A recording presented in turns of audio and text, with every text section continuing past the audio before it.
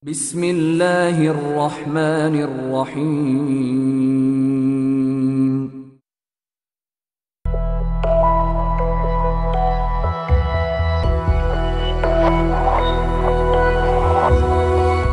السلام عليكم ورحمة الله وبركاته.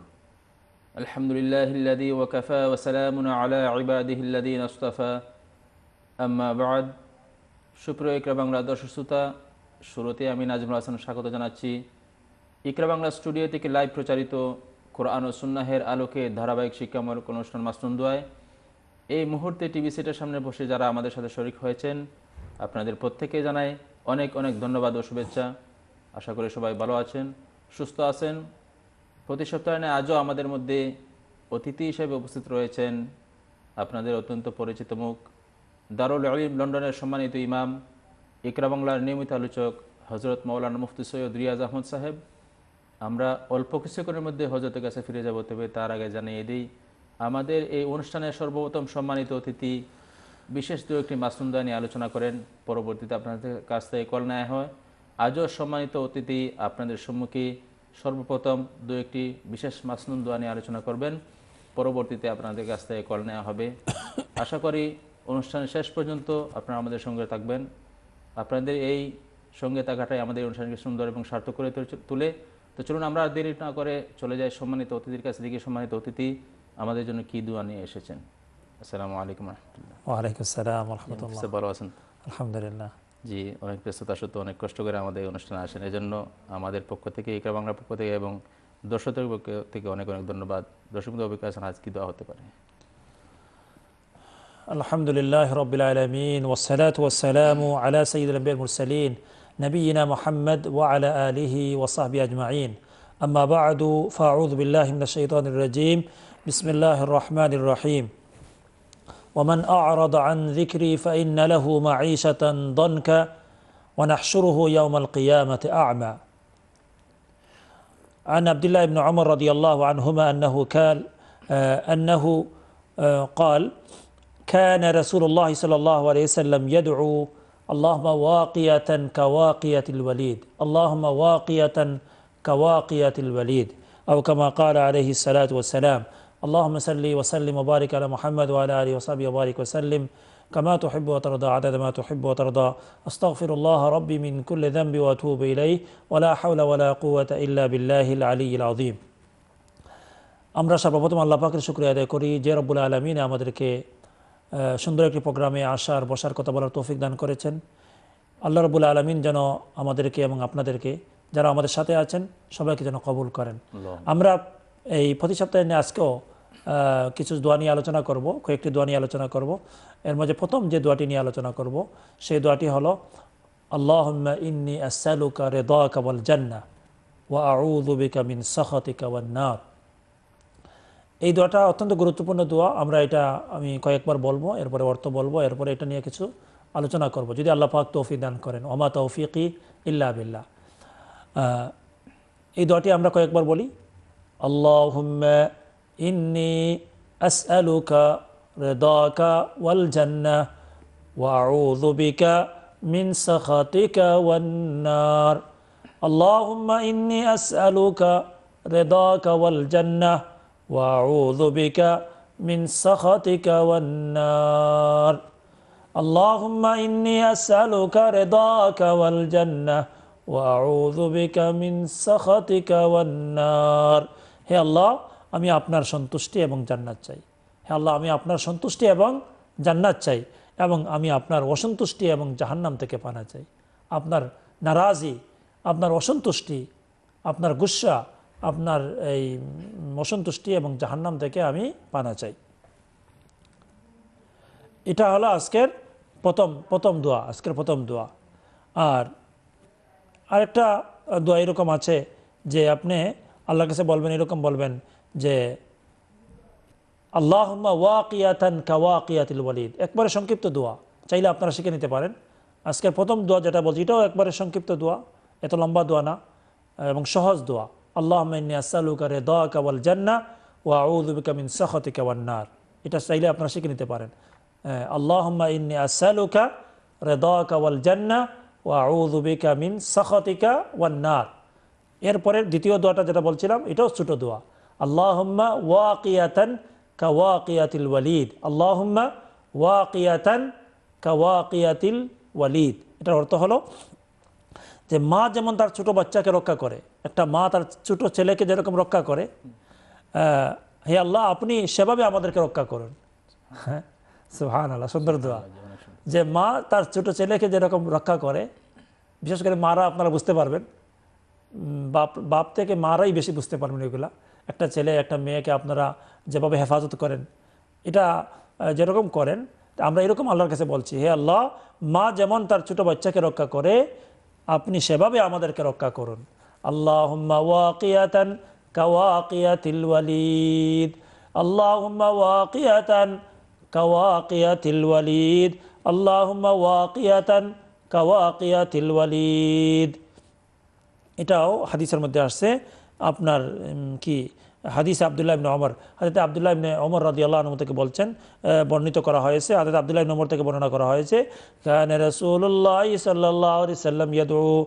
রাসূল ওয়াসাল্লাম এই দোয়াটি করতেন, আল্লাহুম্মা ওয়াকিয়াতান আল্লাহুম্মা ওয়াকিয়াতান কাওয়াকিয়াতিল ওয়ালিদ, আল্লাহুম্মা ওয়াকিয়াতান কাওয়াকিয়াতিল ওয়ালিদ। আখরাজাহু আবু ইয়ালা ফি মুসনাদিহি। এই যে, এইটা বললাম দ্বিতীয় দোয়া। তিন নম্বর দোয়া যেটা সেটা হলো আপনার, কি যেটা? আল্লাহ জাল্লা মিন ইবাদিক, মিন ইবাদিকাল, মিন ইবাদাকাল মিন ইবাদাকাল মুন্তাখাবিন আল গুররিল মুহাজ্জালিন আল ওয়ফদিল মুতাকাব্বালিন। এটা তিন নম্বর দোয়া। এই দোয়াটা আপনারা শুনেন, কয়েকবার শুনেন। আল্লাহ জাল্লা মিন ইবাদিকাল মুন্তাখাবিন আল গুররিল মুহাজ্জালিন الوفد المتقبلين اللهم اجعلنا من عبادك المنتخبين الغر المحجلين الوفد المتقبلين হে আল্লাহ আমাদেরকে তুমি দলভুক্ত করিয়ে দাও তোমার সেই সকল নির্বাচিত বন্দাদের মধ্যে যাহাদের মুখ মণ্ডল এবং হাত পা উজ্জ্বল হবে চমকাইতে থাকবে হে আল্লাহ তুমি আমাদেরকে এমন মানুষদের দলভুক্ত করে দাও, হে আল্লাহ, আমাদেরকে দলভুক্ত করিয়ে দাও।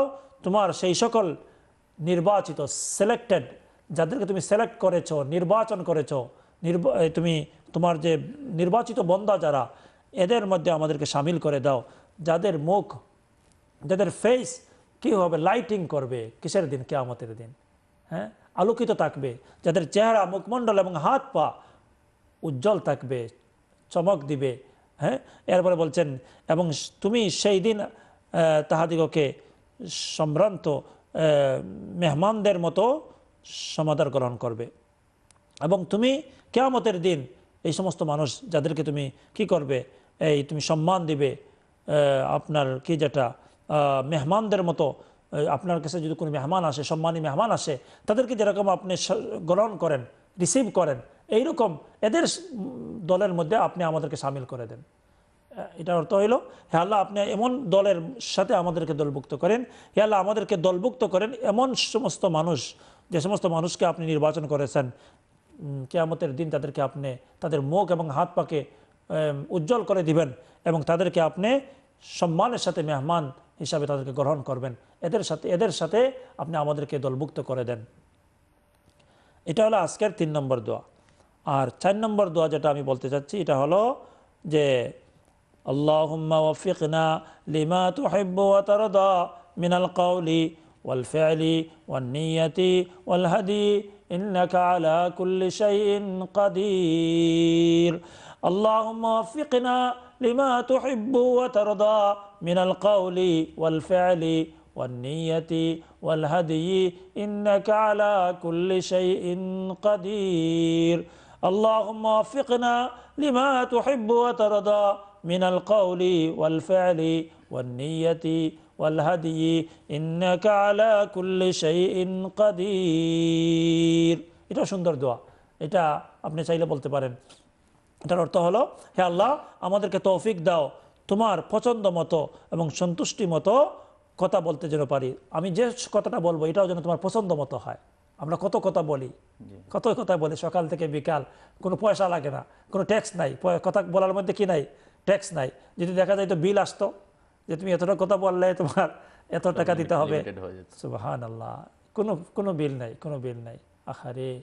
আহ, তো এই যে তখন আমরা আল্লাহর কাছে বলছি হে আল্লাহ আপনি আমাকে তো তৌফিক দাও আমাদেরকে তো তৌফিক দাও তোমার পছন্দ মতো কথা বলার। এই জন্য হাদিসের মধ্যে আছে তুমি বললে ভালো কথা বলো আর নাহলে নীরব থাকো। মানসা কথা না যা হ্যাঁ তুমি যদি কথা বলতেই হয় তাহলে ফাল ইয়াকুল খাইরান তুমি ভালো কথা বলো। হ্যাঁ নাহলে তুমি চুপ থাকো। তাইলে এরকম একজন মহিলার ঘটনা আছে যে উনি কোরআন ছাড়া কোনো উত্তর দেয় না। যে কথাই বলা হয় এটার উত্তর কিসের দ্বারা দেয়? কোরআনের দ্বারা। দেয়। সুহান আল্লাহ তাইলে আমরা তো আর এরকম পারব না। কিন্তু অ্যাটলিস্ট আমরা একটু চিন্তা করব যে আমি ফালতু কথা বলব না বেকার কথা বলব না। এই জন্য এই দোয়াটির মধ্যে বলা হয়েছে যে আল্লাহ লিমা اللهم وفقنا لما تحب وترضى من القول والفعل والنية والهدي إنك على كل شيء قدير হে আল্লাহ আমাদেরকে তৌফিক দাও তোমার পছন্দ মতো আহ, কথা বলার তোমার পছন্দ মতো আমল করার তোমার পছন্দ মতো কাজ করার তোমার পছন্দ মতো যে নিয়ত যেটা ভালো নিয়ত করার এরপরে হেদায়ত অর্থাৎ আমার চ- আমাকে তুমি হেদায়ত দান করো আমাকে তুমি হেদায়তের পথে তুমি আমাকে চালাও হে আল্লাহ, তোমার কাছে আমরা তৌফিক চাই যাতে আমাদের পছন্দ, তোমার পছন্দ মতো কথা বলতে পারি, তোমার পছন্দ মতো আমল করতে পারি এবং তোমার পছন্দ মতো নিয়ত করতে পারি এবং হেদায়ত যেন আমি পেয়ে যাই পেয়ে যাই। এইটা একটা দোয়া ছিল। আজকের যে তিন নম্বর দোয়া আমি যেটা বলছিলাম, যে দোয়াটি ছিল, আল্লাহুম্মা আল্লাহুম্মা জালনা আল্লাহুম্মা জালনা মিন ইবাদিকাল মুনতাখাবিন আল গুররিল মুহাজ্জালিন আল ওয়াফদিল মুতাকাব্বালিন। এটা যদি আমরা দেখি হাদিসের মধ্যে এটা আসছে আন ওয়াফ আন ওয়াফাদে আব্দুল কাইস আন ওয়াফাদে আব্দুল কাইস এ, একটা ওয়াফাদ মানে একটা জামাত তারা আসছিল আল্লাহ রসুলের কাছে যেটা আব্দুল কাইসের জামাত এই যে গ্রুপটা আসছিল তারা আন্নাহুম সামিউ রসুল আল্লাহ সাল্লাহ ইয়াকুল তারা যে সময় আসছিল, তখন আল্লাহ রসুলকে এই দোয়া করতে শুনছে। আল্লাহ রসুল কি দোয়া বলছিলেন? এই দোয়াটি আল্লাহ জালনা মিন ইবাদাকাল, মিন মুনতাখাবিন আল গুররিল মুহাজ্জালিন আল ওয়াফদিল মুতাকাব্বালিন, আল্লাহুম্মা জাআলনা মিন ইবাদিকাল মিন ইবাদিকাল মুনতাখাবিন আল গুররিল মুহাজ্জালিন আল ওয়াফদিল মুতাকাব্বালিন। এই দোয়াটি বলছিলেন। তখন তারা জিজ্ঞেস করলেন, ইয়া রাসূলুল্লাহ, মা ইবাদুল্লাহিল মুনতাখাবুন? এই সমস্ত মানুষ কারা? যারা নির্বাচিত, এরা কারা? পরিচয় কি? আল্লাহ রসুল বলছিলেন কালা ইবাদুল্লাহ সালিহুন যারা এই নেককার হবে, তারাই হবে আল্লাহ নির্বাচিত বন্দা এবং বন্দি। যারা নেককার, সালিহীন যারা সালিহীন যারা, তারাই কি হবে আল্লাহর নির্বাচিত? অর্থাৎ আপনি যদি বলেন যে প্রাইম মিনিস্টারের কাছে সাক্ষাতের জন্য দশজন মানুষকে দেশ থেকে বাছাই করা হয়েছে, এরা সিলেক্টেড এদেরকে নির্বাচিত করা হয়েছে। বিশেষ একটা গ্রুপ বানানো হয়েছে পুরা দেশের জন্য। হ্যাঁ? তাইলে একটা আমরা মনে করি এটা কত বড় একটা পজিশনের মধ্যে গেছে হ্যাঁ? সরকারে একটা একটা কমিটি বানাইছে। এই কমিটির মধ্যে বা- দশ জনের আপনি একজন হয়েছেন এটাকে আমরা কত বড় একটা সম্মান মনে করি। আর অথচ এই সমস্ত জিনিসগুলো আখেরাতের তুলনায় এগুলোর কোনো দামই নাই। আখেরাতের মধ্যে যদি আপনি বলেন যে আপনি আল্লাহর কাছে নির্বাচিত বন্দাদের মধ্যে আপনি ঢুকতে পারছেন সেটাই হলো আসল কথা। আল্লাহ এই জন্য আমরা দোয়া বলছি আল্লাহ জালনা মিন ইবাদিকাল মুন্তাখাবিন হে আল্লাহ, আপনি আমাদেরকে নির্বাচিত বন্দাদের মধ্যে দাখিল করেন। এখন এরা কারা?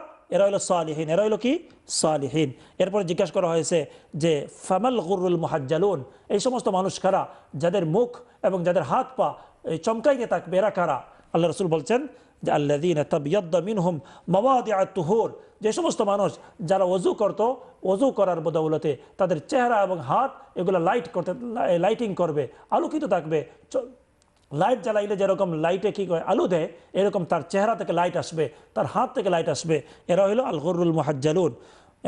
এই জন্য আমরা বলছিলাম এই যে হাদিসটা, এই হাদিসের মধ্যে আসছে, এরপরে আসছে ফ্যামেল ওয়াফদুল মোতাকাব্বালুন? কাল ওয়াফদুন ইয়াফিদুন মিন হাদিহিল উম্মা মা নবিহিম ইলা রব্বিহিম। যারা কেয়ামতের দিন যে জমাতটা রব্বুল আলমিনের সামনে যাবে নবীদের সাথে।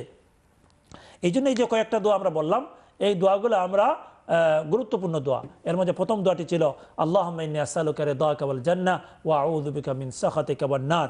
আজকের দ্বিতীয় দ্বিতীয় দোয়া ছিল আল্লাহ ওয়াকিয়াতান কাওয়াকিয়াতিল ওয়ালিদ। আজকের তিন নম্বর দোয়া ছিল আল্লাহ জাআলনা মিন ইবাদাকাল, মিন ইবাদিকাল মুন্তাখাবিন। আল্লাহ জাআলনা মিন ইবাদাক, মিন ইবাদিকাল মুন্তাখাবিন। আল গুররিল মুহাজ্জালিন, আল ওয়াফদিল মুতাকাব্বাল, মুতাকাব্বালিন। আর চার নম্বর দোয়া ছিল আল্লাহ ওয়াফিকনা লিমা তুহিব্বু ওয়া তারদা মিন আল কাউলি ওয়াল ফি'লি ওয়ান নিয়তি ওয়াল হাদ, ইন্নাকা আলা কুল্লি শাইইন কাদির। এই দোয়াগুলো আমরা ইনশাআল্লাহ চেষ্টা করব, শিখে নিব ইনশাআল্লাহ। আর বিশেষ করে এই আপনার যে প্রথম যে দোয়াটা আছে, এই দোয়া নিয়ে কিছু আলোচনা করব ইনশাআল্লাহ যদি আল্লাহ পাক তৌফিক দান করেন। বিশেষ করে আল্লাহর সন্তুষ্টি এবং জান্নাত, এখানের মধ্যে আল্লাহ তালার সন্তুষ্টি প্রথমে বলা হয়েছে। জান্নাতের আগে সন্তুষ্টি বলা হয়েছে, এটা কেন বলা হয়েছে এটা সম্পর্কে আমরা ইনশাআল্লাহ আলোচনা করব। যে আল্লাহ তালার সন্তুষ্টি, এটা জান্নাত থেকে বড় কেন? জান্নাত থেকে বড় কেন? আল্লাহর সন্তুষ্টি এবং আল্লাহর নারাজিগি এটা জাহান্নাম থেকে আরও ভয়ঙ্কর। হ্যাঁ? জাহান্নামকে আমরা ভয় করি। কিন্তু জাহান্নাম থেকে আরও বেশি হইল কি? যে আল্লাহ তার অসন্তুষ্টি। এটারও কিছু কারণ আছে এটার ব্যাখ্যা আছে। এই সম্পর্কে আমরা আলোচনা করব ইনশাআল্লাহ। আমরা এটাই বলছিলাম যে এইগুলা নিয়ে আমরা এই কি করতে হবে? এই যে দোয়াগুলো আছে এই দোয়াগুলো আমাদের উদ্দেশ্য হলো কি? আমরা শিখে নিব এবং দোয়াগুলোকে প্র্যাকটিস করব ইনশাআল্লাহ। আমাদের একটা ব্রেকে যেতে চাই ব্রেকের পর আপনার কাছে আবার আসব। জাজাকাল্লাহ। প্রিয় ভাই বোন আমরা মুফতি সাহেবের কাছ থেকে অনেক গুরুত্বপূর্ণ দোয়ার আলোচনা শুনছিলাম আরও আলোচনা শুনব আপনাদের কাছ থেকে কল নেব। তবে তার আগে যেতে হচ্ছে আমাদের ছোট্ট একটি বিরতিতে। ফিরছি শীঘ্রই সঙ্গে থাকুন। আসসালামু আলাইকুম ও রহমতুল্লাহ ওবরাকাত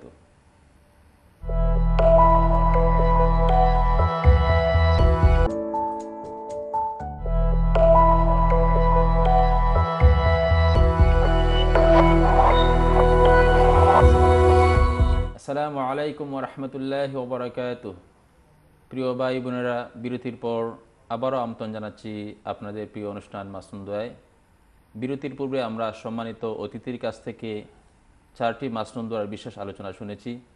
এ ব্যাপারে আরও আলোচনা শুনব এবং আপনার আপনাদের সাথে আপনাদের কাছে কল নিব। তবে তার আগে জেনে দিই আমাদের এই অনুষ্ঠানে আপনারা সরাসরি অংশগ্রহণ করতে পারবেন। টিভি স্ক্রিনে নাম্বারে ফোন করে আপনার প্রশ্ন করতে পারবেন। তবে আপনাদের প্রশ্নগুলো হতে হবে মাস্তুন্দকে গিয়ে এদিকে অবশ্যই আপনারা লক্ষ্য রাখবেন।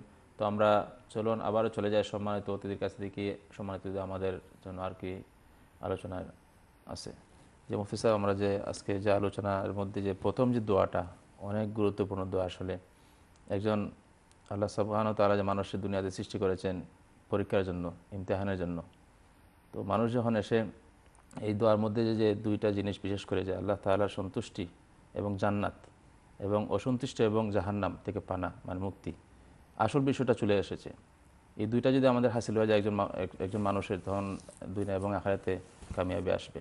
এই আমরা এই যে দোয়াগুলো, আরও যে দোয়াগুলো আমরা সবসময় আলোচনা করি, বিশেষ করে এটা গুরুত্ব দিতে হবে যে আমাদের দোয়াগুলো শিখতে হবে। আমি সহ সবাই আমরা আগে দোয়াগুলো শিখতে হবে এবং আমল করতে হবে, আমলের মধ্যে আসতে হবে। তখন ইনশাল্লাহ আমাদের এই অনুষ্ঠান আমাদের এই মাসুন্দাটা আপনার সার্থক হবে। এদিকে অবশ্যই দর্শকদের একটু গুরুত্ব দিলে ভালো হয় আর কি। জি। আপনি সত্যি বলছেন যে এটা অত্যন্ত গুরুত্বপূর্ণ দোয়া এবং এটা মিন জাওয়ামি আল কালিম। জি। এটা এরকম জাওয়ামি আল কালিম আল্লাহ রসুলকে আল্লাহ রসুল বলছেন উতি তু মিন জাওয়ামি আল কালিম। আমাকে জাওয়ামি আল কালিম দেওয়া হয়েছে। জাওয়ামি আল কালিমের অর্থ হলো যে কথাটা ছোট সেন্টেন্সটা ছোট জি। কিন্তু অনেক মিনিং এর ভিতরে ঢুকাই দেওয়া হয়েছে। তাই এই যে একটা কথা আপনি যদি বলেন হে আল্লাহ আমি আপনার সন্তুষ্টি চাই। এটা মানি কি? যে আপনি এমন সব প্রত্যেকটা জিনিস যেটা আল্লাহ পছন্দ করেন এটা আপনি চাচ্ছেন। যে আপনি যেন কোনো সময় যাতে আপনি আল্লাহকে নারাজ না করেন। তাইলে আল্লাহকে সন্তুষ্টি করা যদি কোনো মানুষ চলতে পারে তাহলে সে কামিয়াব ডেফিনেটলি কামিয়াব হবে। সে যদি আল্লাহকে সন্তুষ্টি করে চলে তাহলে সে কামিয়াব হবে। একজন মানুষ তার দোকানে কাজ করে তার বসকে যদি সে ম্যানেজ করে চলে সন্তুষ্ট করে চলে ডেফিনেটলি তার কি হবে? তার এই তোমার পদোন্নতি হবে। বা তাকে তাকে সম্মানে দেওয়া হবে তার সাথে ভালো ব্যবহার করা হবে তাকে এক্সট্রা তাকে কেয়ার করা হবে যে মানুষটা অনেক ভালো তার কাজটা ফুলফিল করে টাইম মতো ফুলফিল করে। ঠিক এরকম এই দোয়াটা যাওয়া আমি অল কালিম থেকে যে আল্লাহ আমি আপনার কাছে সন্তুষ্টি চাই এবং জান্নাত চাই। এখন কথা হলো যে আমরা যে সময় কি করি? এই আপনার আল্লাহ আল্লাহ তালার কাছে আমরা বলি যে আল্লাহ আপনার কাছে আমরা আপনার সন্তুষ্টি চাই এবং জান্নাত চাই। এটার কারণ কি? যে প্রথমে জান্নাত চাওয়া হইল না। প্রথমে চাওয়া হইল আপনার সন্তুষ্টি। প্রথমে চাওয়া হয়েছে কি? আল্লাহর সন্তুষ্টি। এরপরে চাওয়া হয়েছে কি? জান্নাত। এটার কারণ এটার কারণ হইল যে সবচেয়ে বড় নিয়ামত হইল আল্লাহ তালার সন্তুষ্টি। এবং আল্লাহর সন্তুষ্টিটা সম্পর্ক কার সাথে? ডাইরেক্ট আল্লাহর সাথে। হ্যাঁ? আল্লাহ যে আল্লাহ তালার যে সন্তুষ্টি যেটা এটা সম্পর্ক কার সাথে? আল্লাহর সাথে। জান্নাত যেটা এটা অবশ্যই একটা নিয়ামত হ্যাঁ? এবং জান্নাত জান্নাত যেটা এটা বানাইছেন আল্লাহ তালা পুরস্কার হিসাবে একটা গিফট হিসাবে। মানুষদের যারা আমল করবে তাদেরকে কি করবেন? জান্নাত দিবেন। দিবেন। এই জন্য যেহেতু সন্তুষ্টির সম্পর্ক কার? ডাইরেক্ট আল্লাহর সাথে। তাইলে এই জন্য প্রথমেই আমরা বলছি কি, হে আল্লাহ, আমি আপনার সন্তুষ্টি চাই। এরপরে আমরা বলছি কি, জান্নাত চাই। এরপরে এরপরে আমরা বলছি যে হাই আল্লাহ, আমি আপনার কাছে চাই যে, না, আপনি যেন আমার উপর খুশ থাকেন, খুশি থাকেন, সন্তুষ্ট থাকেন। এরপরে জান্নাতের চাইতে আল্লাহর খুশি এটা অনেক বড়। জান্নাতের চাইতে আল্লাহর খুশি হওয়া এটা আল্লাহ তালার সন্তুষ্টি এটা জান্নাতের চাইতে অনেক বড়। এরপরে বলছেন আল্লাহর সন্তুষ্টি যেটা এটার মধ্যে যে মজা এবং টেস্ট এবং জান্নাতের যে মজা এবং টেস্ট এটা সমান না। জান্নাতের টেস্ট থেকে আল্লাহর সন্তুষ্টি এটা অনেক বেশি অনেক বেশি। তার মধ্যে লজ্জাত এবং মজা আছে হ্যাঁ? এখন জান্নাতের থেকে আল্লাহ তালার সন্তুষ্টি যেটা এটা অনেক গুরুত্বপূর্ণ। এরপরে বলছেন জান্নাত এটা মখলুক। জান্নাত এটা কি? আল্লাহর সৃষ্টি। আর কি যেটা? আর আল্লাহ ইল্লাল খালিক আল্লাহর সৃষ্টিকর্তা। আর সন্তুষ্টি কার সাথে লাগে খালিকের সাথে। তাহলে কোনটা উত্তম হবে? যেটা ডাইরেক্ট খালিকের সাথে যেটা সৃষ্টিকর্তার সাথে সম্পর্ক এটার মর্যাদা বেশি হবে এটার দাম বেশি হবে। এই জন্য আমরা এই কথাই বলছিলাম যে আল্লাহ তালার আল্লাহ তালার সন্তুষ্টি এবং জান্নাত। এই দুটার মধ্যে আল্লাহ তালার সন্তুষ্টির গুরুত্ব অনেক বেশি। এরপরে আমরা বলছিলাম এই কথা যে দুনিয়ার মধ্যে আপনি কি করছেন? এই কিছু ফায়দা নিচ্ছেন। এটা হবে কি? এটা হবে কিছুদিনের জন্য টেম্পোরারি আপনার দুনিয়ার বাসস্থান, দুনিয়ার কিছু খাওয়া দাওয়া দুনিয়ার মাঝে যেগুলো আপনার আছে আপনি যেগুলো আছে, এগুলো হলো গয়রা আজলি এবং গয়রা আবদি। আর জান্নাতের মধ্যে যেগুলো আপনি পাবেন নিয়ামত, জান্নাতের মধ্যে যে নিয়ামতগুলো পাবেন, এগুলো হবে কি? আবদি। কিন্তু আজলি না। আবদি মানে কি? হ্যাঁ? একটা হলো আবদি মানে যে সময় জান্নাত বানানোর পরে এটা আবার কিন্তু শেষ হবে না এন্ডিং হবে না। এটার নাম আবদি। কিন্তু আজলি না জান্নাত এরকম না একবারে প্রথম থেকে ছিল। আল্লাহ বানানোর পরে এটা হয়েছে জান্নাত এবং জান্নাত এবং জাহান্নাম এগুলো বানানো হয়ে গেছে কিন্তু এক সময় ছিল না। এক সময় ছিল না। ছিল না। তাহলে এটা কি না? এটা আজলি না এটা আবদি। আবদি মানে কি? বানানোর পরে আর শেষ হবে না। বানানোর পরে কি হবে না? শেষ হবে না। শেষ হবে না। কিন্তু আল্লাহ রবুল আলমিন আজলি এবং আবদি। আল্লাহ রবুল আলমিন আজলি এবং আবদি মানে আল্লাহ তালা সব সময় ছিলেন এবং সব সময় থাকবেন। আল্লাহ তালা সব সময় ছিলেন সবসময় এবং সব সময় থাকবেন। অর্থাৎ আল্লাহ তালা আবদিও আজলীয় এটা মানে কি? কিন্তু জান্নাত যেটা এটা আবদি মানে এটাকে বানানোর পরে এটা শেষ হবে না। অর্থাৎ আমরা জান্নাতে যাব জান্নাত থেকে আর শেষ হবে না লাইফ শেষ হবে না। জান্নাতের লাইফ শেষ হবে না। কিন্তু একসময় জান্নাত ছিল না একসময় আমিও ছিলাম না। আহ, আপনিও ছিলেন না। জান্নাতে একসময় ছিল না। এই জন্য যেহেতু আল্লাহর সন্তুষ্টিটা আল্লাহর সাথে যায় সন্তুষ্টি যেহেতু আল্লাহর সাথে যায়, খালিকের সাথে যায় এই জন্য হাদিসের মধ্যে পিয়ারে নবী সাল্লাহ বলছেন হ্যাঁ আল্লাহ, আমি আপনার কাছে আপনার সন্তুষ্টি চাই, এরপরে বলছেন, আমি জান্নাত চাই। প্রথমে বলছেন, আমি আপনার সন্তুষ্টি চাই, এরপরে বলছেন, আমি আপনার জান্নাত চাই।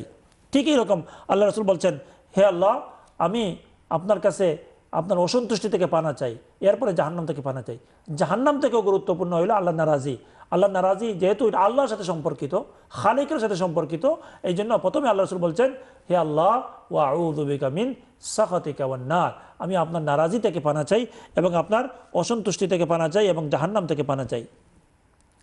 এই জন্য অনেক সময় আছে কি, আল্লাহ তালার অসন্তুষ্টি যেটা এবং জাহান্নাম, এবং কোনটা ডেঞ্জার বা কোনটা ক্ষতিকর বেশি বলছেন জাহান্নাম থেকে জাহান্নাম থেকে আল্লাহর অসন্তুষ্টি এটা ক্ষতি ক্ষতি বেশি। এটার ক্ষতি বেশি যে অনেক সময় বলা হয় যে এরকম একটা দোয়াও আছে আল্লাহ রসুল বলছেন যে আল্লাহ রসুল এরকম বলছেন যে আল্লাহ আউদুবিকা আন তাসুদ্দা আন্নি ওয়াজহাকা ইয়াউমাল কিয়ামা।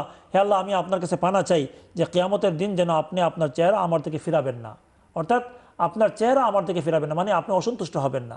কেয়ামতের দিন আল্লাহ রসুল বলছেন যে আল্লাহ মিন আন তাসুদ্দা আন্নি ওয়াজহাকা ইয়াউমাল কিয়ামা।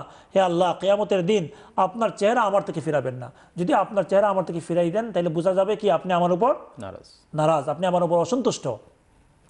এখন যেমন ধরেন যদি একটা বাবা তার ছেলের উপর অসন্তুষ্ট হয়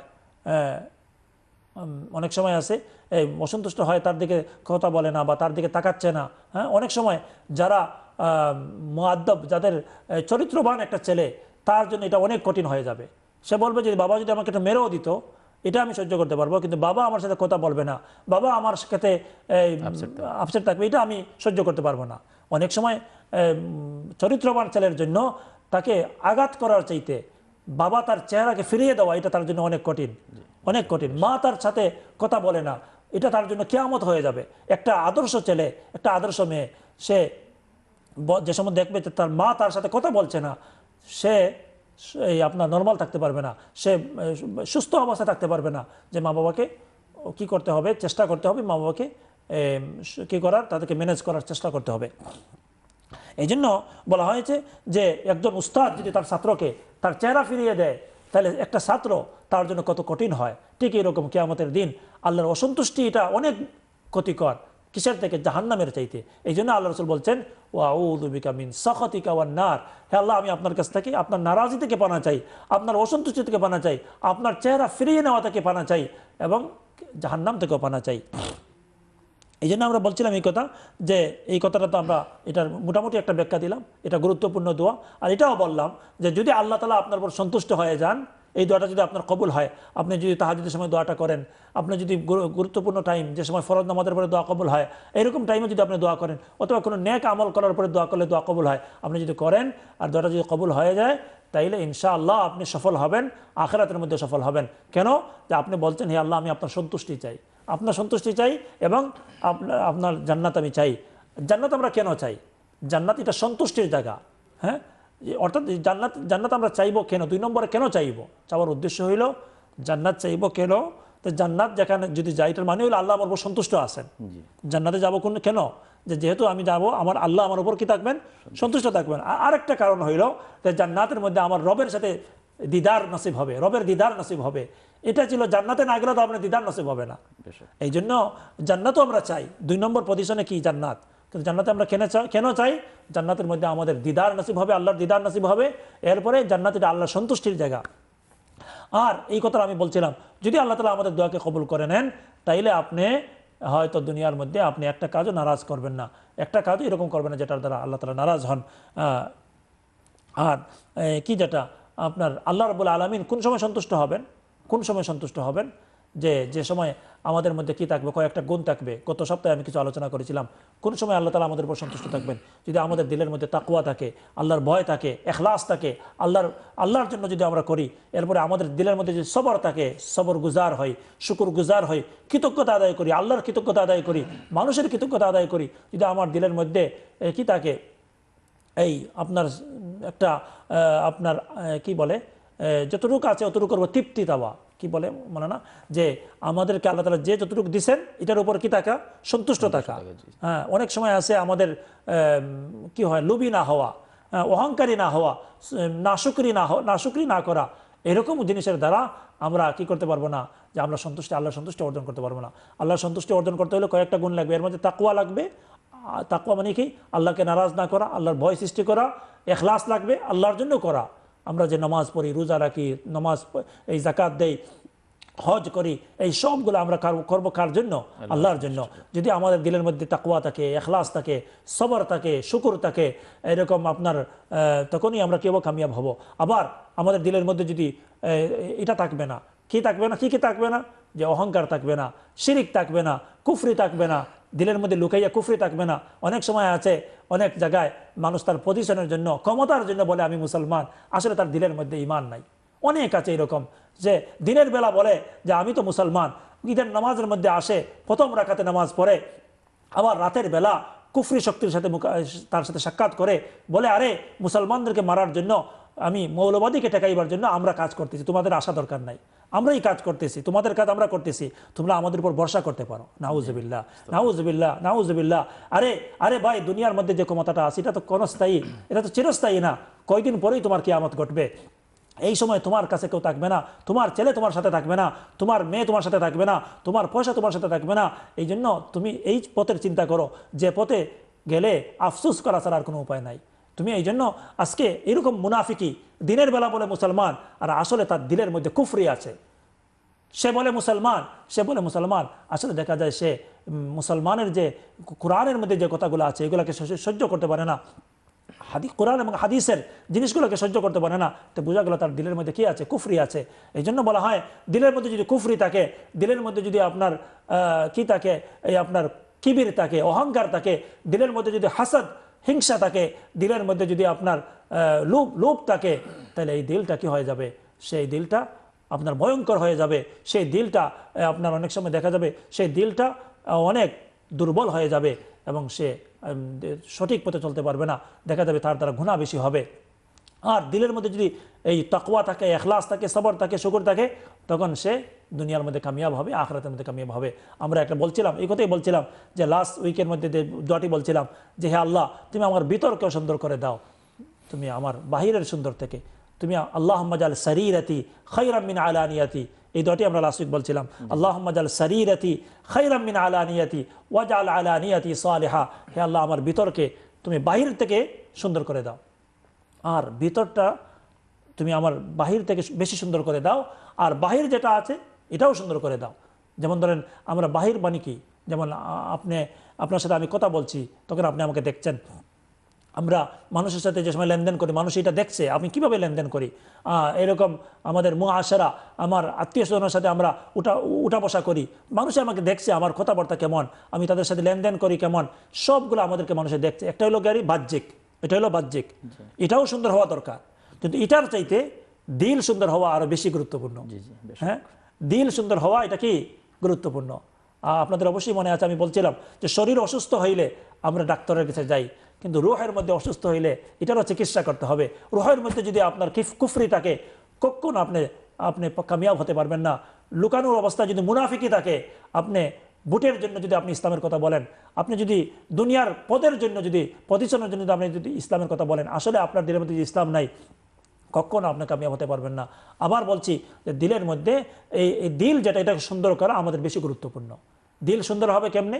দিল সুন্দর হবে কেমনে? যে দিলের মধ্যে এই সমস্ত যদি কোয়ালিটি থাকে। সাহাবাই কারামের উপর আল্লাহ রসুল আল্লাহ রসুল বলছেন যে সাহাবাই কারাম, অনেক সাহাবাই কারামকে বলছেন এরা জান্নাতি। এরপরে আপনার আল্লাহ তালা নিজেই ঘোষণা দিয়েছেন যে সাহাবাই কারাম এর উপর আল্লাহ সন্তুষ্ট। সাহাবাই কেরামের উপর আল্লাহ সন্তুষ্ট। কোন সময় সন্তুষ্ট বলেছেন? যে সময় তারা প্রত্যেকটা কাজ প্রত্যেকটা কাজ আল্লাহর হুকুম মতো করেছেন, নবীর সুন্না মতো করেছেন, তখন আল্লাহ তালা ঘোষণা দিয়েছেন রাদি আল্লাহ আন হোম ওরাদু আন। যে আল্লাহ তাদের উপর সন্তুষ্ট তারাও আল্লাহর উপর সন্তুষ্ট। এরপরে বলছেন শুধু তারা না যে বলছেন ওয়াল্লাদিন শুধু সাহাবাহ কেরামের উপর সন্তুষ্ট হয়েছেন আল্লাহ এরকম না। কেয়ামত পর্যন্ত যারা সাহাবায়ে কেরামকে ফলো করবে, যারা ইমানের উপর থাকবে, তাকওয়ার উপরে থাকবে, এই আপনার সবরের উপরে থাকবে, শুকরের উপরে থাকবে, এইরকম সাহাবায়ে কেরামের মধ্যে যে কোয়ালিটি ছিল, তাদের মধ্যে যে কোয়ালিটিগুলো ছিল, এই কোয়ালিটি কেয়ামত পর্যন্ত চায় দুনিয়ার যে কোনো কর্নারে থাকুক। সে যদি এই গুণগুলো অর্জন করতে পারে, তাইলে আল্লাহ তালা বলছেন রাদি আল্লাহ আনহুম রাদু আন। এদের উপর আল্লাহ সন্তুষ্ট হবেন। এই জন্য আমরা এই কথা বলছিলাম যে আমাদের দায়িত্ব হইল যে আল্লাহকে সন্তুষ্ট করা। আল্লাহকে সন্তুষ্ট করা। সকাল থেকে নিয়ে বিকাল, প্রতিটি কাজের শুরুতে আমি দেখব এই কাজটা করলে আল্লাহ আমার উপর সন্তুষ্ট হবেন কিনা। যদি দেখেন আল্লাহ সন্তুষ্ট হন, তাহলে আমরা করব। যদি দেখা যায় আল্লাহ অসন্তুষ্ট থাকবে তাহলে এটা করব না। কিন্তু এরপরেও যদি আমাদের দ্বারা হয়ে যায়, তাইলে আমরা তওবা করব। আমরা তওবা করব যে হ্যাঁ আল্লাহ, আমি আর এই কাজ করব না। আমি আর এই সমস্ত কাজ করব না। এটার জন্য আমরা অবশ্যই তওবা করব। আর আজকের যে আরেকটা দোয়া আমি বলছিলাম যে যে দোয়াটি ছিল আপনার একবারে ছোট একটা দোয়া ছিল আল্লাহ ওয়াকিয়াতন কাওয়াকিয়াতিল ওয়ালিদ আল্লাহ ওয়াকিয়াতন কাওয়াকিয়াতিল ওয়ালিদ। এটা ছিল আজকের আরেকটা দোয়া, যেটা আমরা বলছিলাম যে, হে আল্লাহ, একটা মা তার ছেলেকে যেরকম হেফাজত করে, আপনি আমাদেরকে এরকম হেফাজত করেন। একটা মা তার ছেলেকে যেরকম তার বাচ্চাকে যেরকম হেফাজত করে আপনি আমাদেরকে এরকম হেফাজত করেন। একটা মা তার ছেলে যে সময় দেখে যে সে তার হাত বাড়াবে কোনো এই কিসের দিকে? বিপজ্জনক বিপজ্জনক জিনিসের দিকে তখন মা তার বাচ্চার হাতকে কি করে?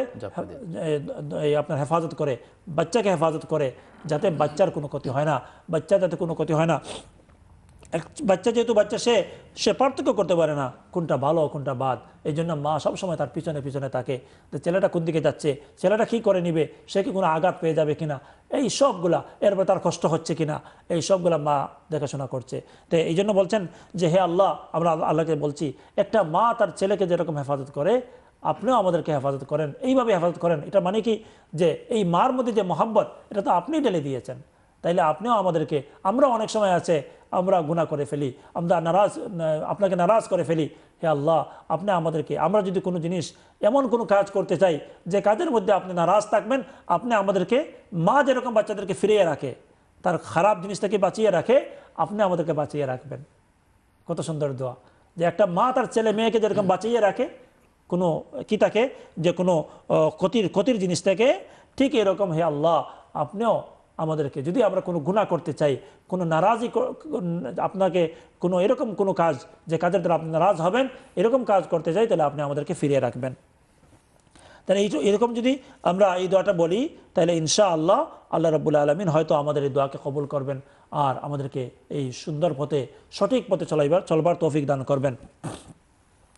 আপনারা অবশ্যই আপনারা এই শুনছেন যে এই যে দোয়াগুলো আছে এই দোয়াগুলোর মধ্যে আমরা একটা আয়াত বলেছি, আজকের প্রথমে বলেছিলাম যে অমান আরাদা আন জিক্রি অমান আরাদা আন জিক্রি ফাইন্না লাহু মাঈশাতান দনকা। যারা, আল্লাহ তালা বলছেন, যারা আমার জিকির থেকে বিমুখ হবে, যারা আমার জিকির থেকে বিমুখ হবে, আমি তাদের জীবনকে আমি কঠিন করে দিব, জীবনকে আমি সংকীর্ণ করে দিব। এখন এটার ব্যাখ্যা কি? এটার ব্যাখ্যা কি? যে জিকির দ্বারা কি মুরাদ? কেউ বলেছেন জিকিরের দ্বারা হইল যে কোরআন এবং কোরআনের মধ্যে যে আইনগুলো আছে, এগুলোকে না মানা কেউ যদি কোরআনকে মানে না বা কোরআনের বিধানকে মানে না তাইলে তার জীবন কি হয়ে যাবে? কঠিন হয়ে যাবে তিক্ত হয়ে যাবে। তার জীবনটা অনেক মুশকিল হয়ে যাবে কষ্টকর হয়ে যায় কষ্টকর হয়ে যাবে। আর এটার ব্যাখ্যার মধ্যে কেউ বলেছেন যে যদি সে নবীরকে অনুসরণ করে না যদি নবীর অনুসরণ থেকে মুখ ফিরিয়ে নেয় তাইলেও তার জীবনকে আল্লাহ তালা কি করবেন? তিক্ত করে দিবেন। দুটোই এর ভিতরে আছে। কোরআনকেও মানতে হবে আর নবীকেও অনুসরণ করতে হবে। জি। দুটোই দুটোই এর ভিতরে আছে। তাইলে আমরা যদি কোরআন কোরআনকে মানি এবং নবীকে যদি অনুসরণ করি তাহলে আমাদেরকে আল্লাহ তালা হায়াত তৈবা দিবেন পিসফুল লাইফ দিবেন। আর যদি আমরা মানি না কোরআনকে মানি না কোরআনের বিধানকে মানি না আর নবীকে অনুসরণ করি না তাইলে আল্লাহ তালা বলছেন আমি তোমাদেরকে কি করব? ফাইন আল্লাহ মাই শতান দনকা। তিক্ত জীবন আমি দিব কঠিন জীবন দিব। এখন প্রশ্ন হইল অনেক সময় দেখি যাদের কাছে ইসলাম নাই যাদের কাছে তকওয়া নাই তারা দেখা যায় অনেক খুব দুনিয়ার মধ্যে খুব ভালো জীবনের মধ্যে আছে। খুব কি বলে সব লাইনে বাহ্যিকভাবে তারা অনেক ভালো জ আছে। এটার উত্তর কি? যে দেখা যায় সে ইসলামে ইসলাম নাই ইসলাম সে আনছে না। সে অথবা ইসলাম আছে কিন্তু তার মধ্যে কি আছে? তার আমল ভালো না। দেখা যায় সে অনেক কি করতেছে দুনিয়ার মধ্যে মানুষ মুসলমানের তুলনায় তুলনায় দেখা যায় তার ঘর ভালো, তার জব ভালো, তার গাড়ি ভালো, সবগুলা তার ভালো দেখা যায়। এটার উত্তর কি হবে? যে বলেন, এটার উত্তর হবে এটা, যে একটা তো হইল, দুনিয়ার মধ্যে যদি এরকম হয়েই থাকে, যদি এটা মেনেই নেওয়া যায় যে দুনিয়ার মধ্যে সে আরাম করতেছে, দুনিয়ার মধ্যে সে খুব ভালো এবং আনন্দ ফুর্তির মধ্যে আসে কিন্তু বলা হয় যে তার যে জীবন যেটা, জীবন কবরের ময়দান কবরের জীবন থেকে তার কঠিন জীবন শুরু হবে। এটা একটা ব্যাখ্যা। একটা ব্যাখ্যা বলছে আরও আরও আসতেছে সামনে। একটা ব্যাখ্যা হইল কোন সময় থেকে শুরু হবে তার কঠিন জীবন? কবর থেকে। কেন হাদিসের মধ্যে আসছে কবরের মধ্যে যে সময় সোয়ালের জব দিতে পারবে না মার রব্বকে তোমার রবকে এরপরে বলা হবে মা দিনুকে তোমার ধর্ম কি বলা হবে মান নবিয়ুকা মান হাদার রাজুল বুইসা ফীকুম। যে সময় বলবে লা আদরি লা আদরি।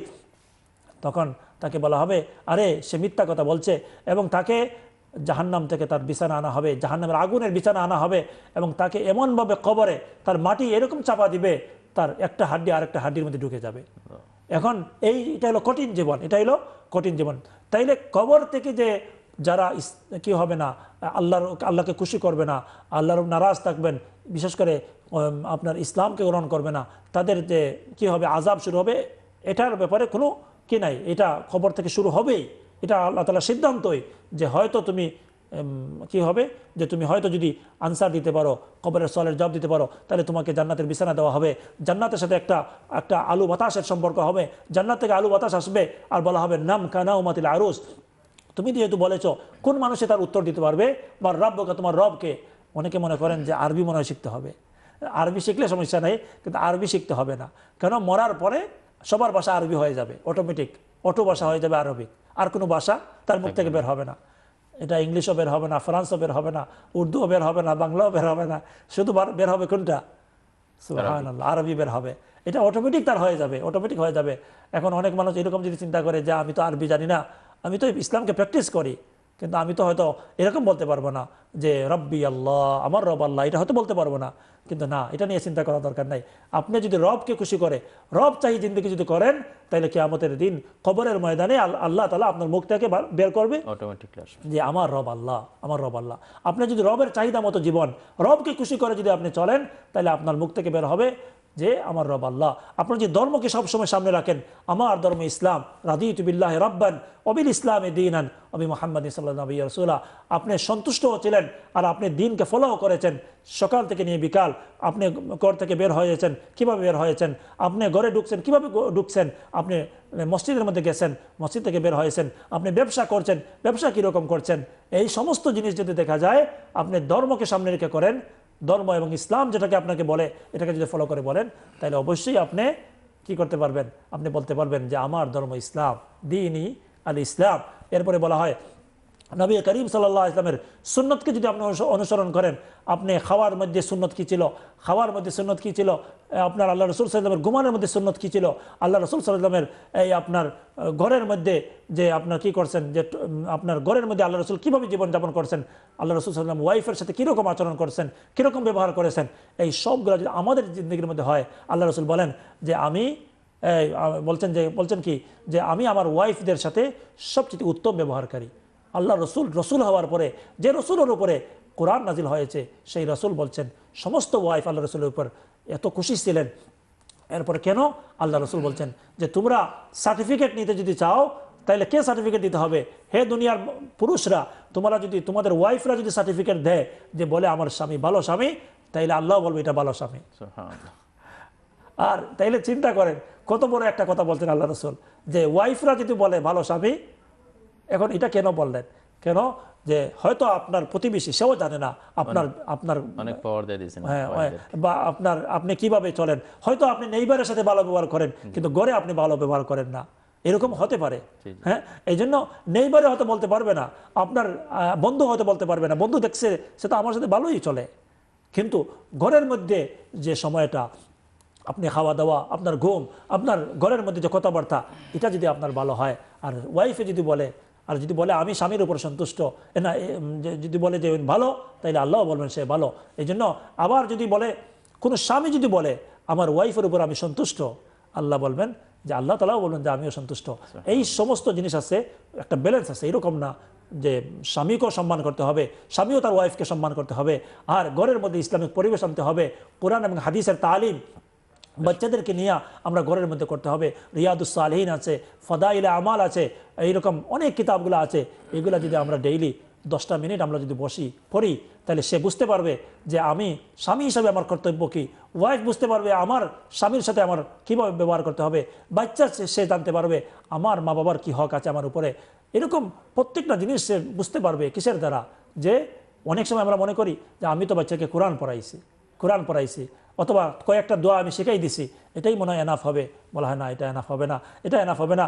ইসলাম, সে জানতে হবে, একটা বেসিক নলেজ থাকতে হবে।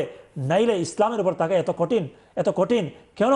সামনে, আমাদের সামনে এমন একটা কঠিন সময় আসছে যে দাজ্জালি ফিতনা আসতেছে।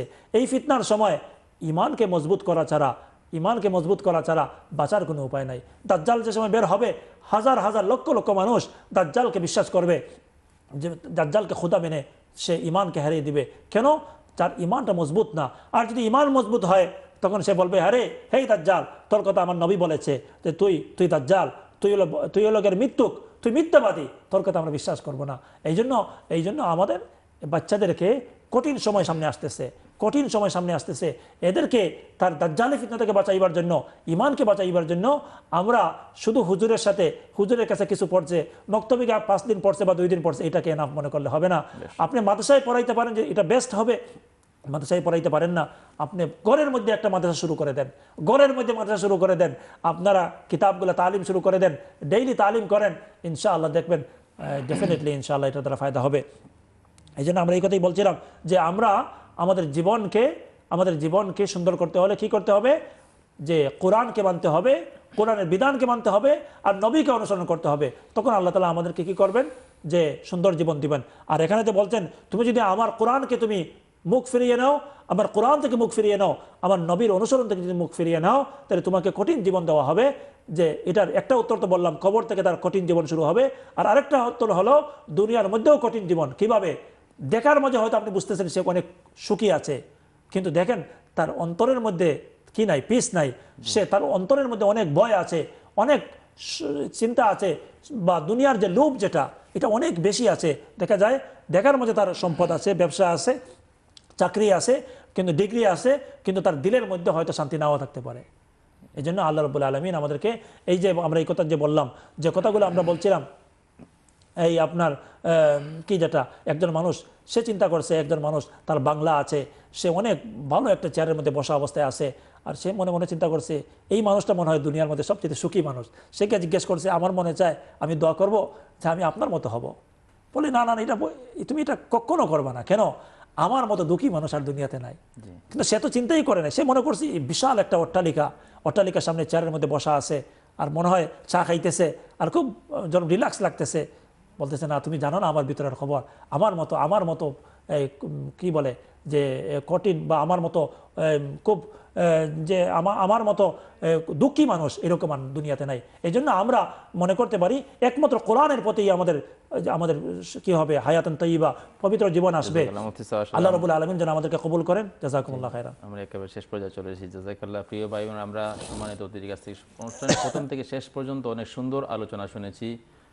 আপনারা যারা আজকে এই অনুষ্ঠান মিস করেছেন, আপনারা ইউটিউবে সার্চ করলে মাসুদ আলীকে আপনার অনুষ্ঠান দেখতে পারেন অথবা মঙ্গলবার ইকরা বাংলা টিভিতেও রিপিট দেখতে পারবেন। অনুষ্ঠানের শেষ পর্যন্ত আমরা কিছু, যা কিছু আলোচনা করলাম, সময় দিলাম, সব কিছু জন্য আল্লাহ তালা কবুল ও মঞ্জুর করেন।